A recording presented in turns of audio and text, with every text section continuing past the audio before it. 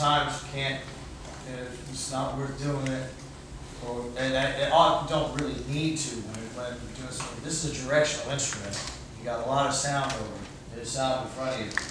Uh, but I would say, get your horns out of the stands, and, and not, not even like that, that would be, a- it would be get out of the stand, you know? With a smile, because I'm not trying to start a fight, but that's, that's a drag when playing, because let me hear, I'm gonna give you an example. Play you point your horn above the stand. One, above the stand, not at the stand, uh, above, right here, right here. You gotta lower the stand or whatever. I'm gonna show you, okay? Nonetheless, oftentimes you're playing a big game, and you got a flat stand here. You can't be reading like this, so start getting used to that, okay? Show you what that feels like. No, you two guys, do what you did before, play it to the oh. stand, like you did before. Now come over here, get part of the section, come, get tight, you move stuff all the way over there. Notice the space, there you go. Nice to see you. The chair was over. Okay, now, you're more above the stand, I want to show you what this feels like. One, two,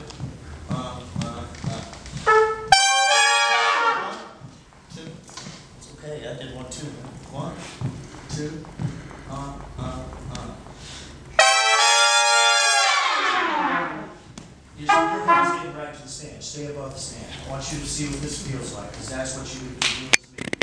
One, two, one, two, three.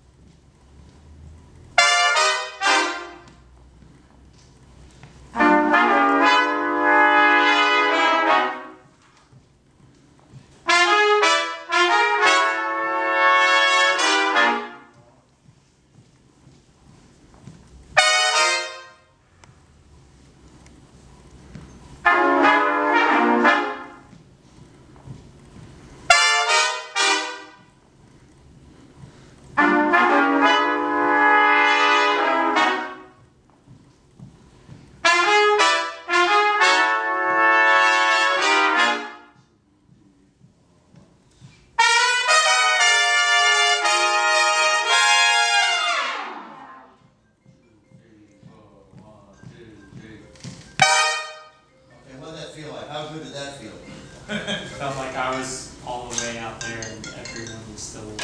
Well, what did it sound like? Did it sound like balanced out front? Now, over the course of time, over the course of a gig, that's gonna destroy your chops. Now, different settings, You've got, if you don't have monitors, you're playing a loud rock gig, or something like that, or even a loud big band gig, guys will be able to stand, I can't hear myself. Well, sorry to say, it's not about you, playing for them, you know?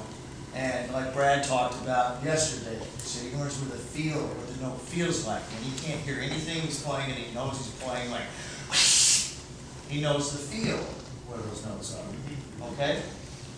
Now, the importance of knowing positioning of your bell in a, in a trumpet set, section setting, say like at the Village Vanguard, if you watch them, you can see all of their bell. There are some, there are some uh, techniques that can be used, like sometimes Frank Greene and I, like, he'll just, he'll just go like, you know, he'll just be going, he'll just go, and I know that means